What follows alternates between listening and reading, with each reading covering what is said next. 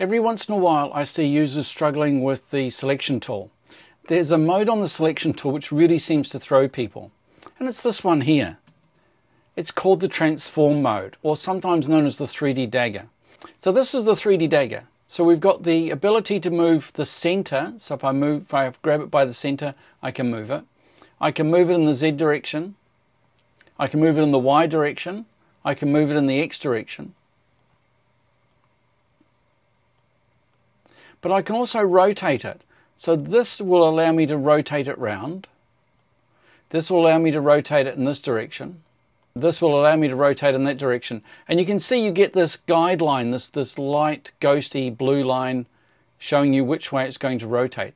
This makes it really easy in 3D to create the objects in the orientation that you want.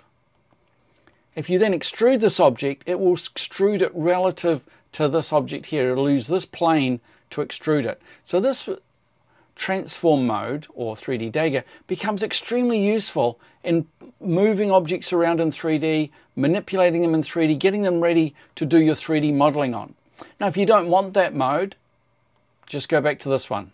There's the 3D plane there. I can put it back on the layer plane and it's gone back to where it belongs. And here I can use this to transform it back to 0 and 0. Hey, thanks for watching. Hope you enjoyed that. It's just a little thing about the transform mode.